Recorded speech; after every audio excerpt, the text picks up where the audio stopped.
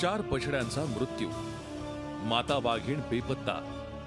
वनविभाग ढिम्म मग वनविभाग नेमकं करतंय काय? चार पिल्लांची एक वाघीण जंगलात असूनही तिच्यावर लक्ष का ठेवलं गेलं नाही? बछडे तीन दिवस भुकेने व्याकुळ झाले असताना वनविभागाचं गस्तीवर असणारं पथक झोपलं होतं का? यापैकी कुठल्याच प्रश्नाचं उत्तर वनविकास महामंडळाकडे नाही. हे बछडे जेव्हा उपासमारीने मेलेले आहेत आणि दोन दिवसाआधीचे किमान जर हे बछडे असतील तर मागच्या पाच दिवस आठवड्यापासनं ती वाघीण दिसेनाशी झालेली आहे. आणि जर आठवड्याभरापासनं वाघीण दिसत नसेल तर वनविभागाचे कर्मचारी आणि संपूर्ण साखळी जी दैनंदिन याचा मागोवा घेतं ती काय करत होती हा कमालीचा आश्चर्याचा आणि काळजीचा विषय आहे? ते की वन विभागाचं लक्ष नाही. एफ डी सी एम आणि वन विभाग यांचा दोघांचा समन्वय तिथं दिसत नाही आहे कॅमेरा ट्रॅप कॅ असताना तिथं कॅमेरा ट्रॅपिंग होत नाही. आणि वनविभाग वन विभाग आणि वनमंत्र्यांना फक्त ताडोबाचा हा व्ही आय पी दिसतो.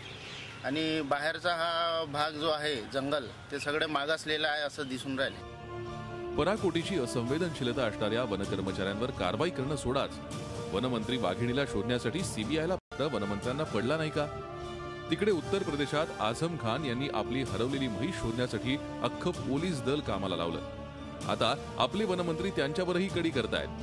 बेपत्ता वाघिणीचा शोध घेण्यासाठी थेट सीबीआयलाच पाचारण करण्यात आलाय. चारही पिल्ल्यांचं जे मृत्युमुखी पडगय त्याला गेल्या तीन चार दिवसापासून वाघिणीचं दूध त्यांना दिलं गेलं नाही.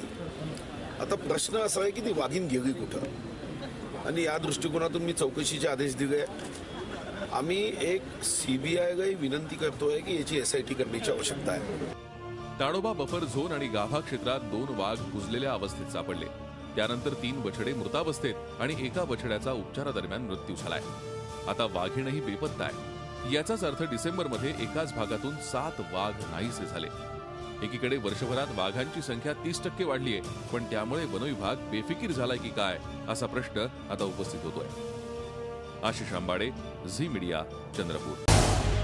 झी चोवीस तास रहा एक पाऊल पुढे.